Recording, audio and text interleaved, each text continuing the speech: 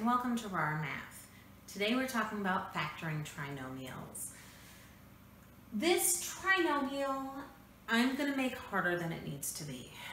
Um, I talked about if you start off with a not equal to 1, the first thing you should do is check out if that number can be factored out of the other two. But 6 doesn't go into 10, nor does it go into 4. We can factor out a 2. I know that. If you are into, I guess, the more traditional way of approaching these, factor that two out right away. You have to carry that two throughout the problem and make sure that two is part of your final answer.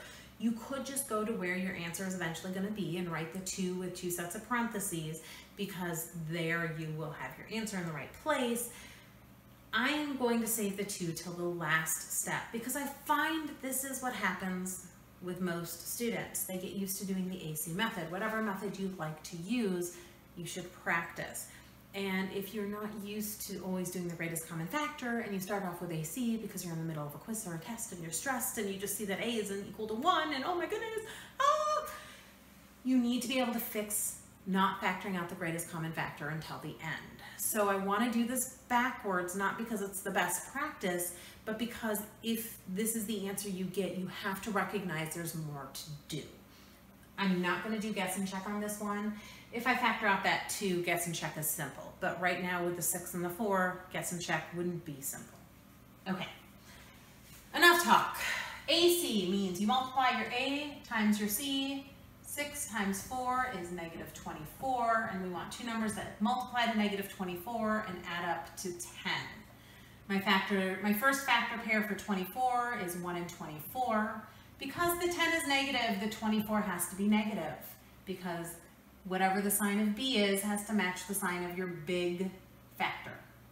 Because 24 is negative, the 1 has to be positive because the only way to multiply to a negative is if you have one of each, and this is a negative 23, and that is not correct. Okay, 2 and negative 12, well there you go. That does add up to negative 10. And what we're doing when we do the AC pro um, process is we're replacing our middle term with the two factor pairs that got us there.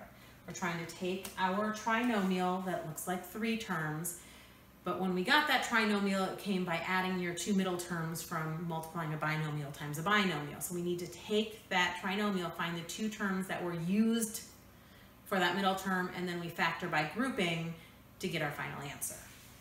Okay, so we now have 6x squared plus 2x minus 12x minus 4, and we want to factor by grouping. So we're going to group our first two terms and we're going to group our second two terms. In our first two terms, we can pull out a 2x. In our second two terms, oh, and we need to bring down this negative. Always, always, always bring down the sign of your middle term. Otherwise, things are gonna go awry. In these middle two terms, I can pull out a negative four. If I pull out a 2x, I'm left with 3x plus 1. And if I pull out a negative 4, I'm left with 3x plus 1. Because what is in the parentheses are the same, I have 3x plus 1. I write what's in the parentheses, I write what's out of the parentheses. But my last step should always be to critically look in those parentheses and make sure what I have is prime. 3x plus 1 is prime. 2x minus 4 isn't, and you should recognize right away when you see a 2 and a 4 as your two coefficients that there's more to do. I need to factor a 2 out of both of these terms, and I'm going to write that 2 out front. I don't really like writing numbers in the middle of parentheses. You can, it's just not my modus operandi. I pull out that 2.